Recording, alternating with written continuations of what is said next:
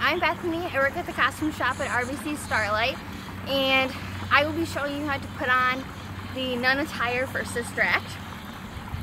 Um, first you want to put on a wimple, which looks like this, and you want to put the elastic in the back.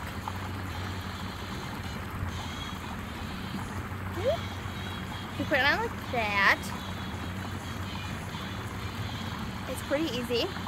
And then you can put on either the crown or the collar next. I like putting on the collar. You can undo the elastic, put it on your neck, and just velcro it back up.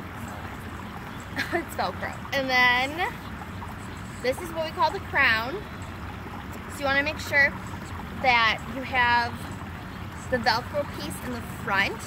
You don't have it facing you, you have it facing the front. And you want to line it up, the bottom of this, with the like top of this, of your wimple. And it velcros in the back also. Like that. So then you fold the flaps over starting in the back, what we usually do. And then you put the front one back. So they should all be down. So that way the Velcro is facing up. Then you want to put on your veil. And it should have a piece of Velcro in it also. And you can do this yourself or you can have somebody help you and then when you get it so many times with practice, um, you'll be able to do it yourself. But you line up this Velcro with this Velcro.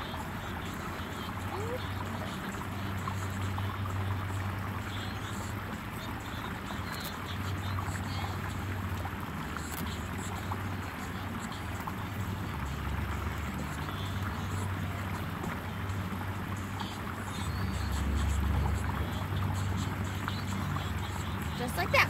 And then my tip that that always works is the weight of the veil um, can pull it back if you don't have the crown on right. So if you put the crown on tilting back so it's up more on your forehead, it, the weight of the veil will pull the whole crown and veil off. So that's why it's really important that you line it up with the wimple and you put it like in the middle of your forehead.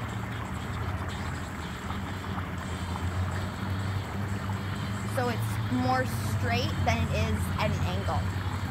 And then,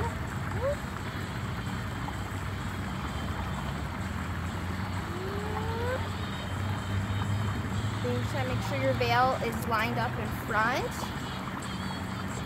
And that is the look for Sister Act.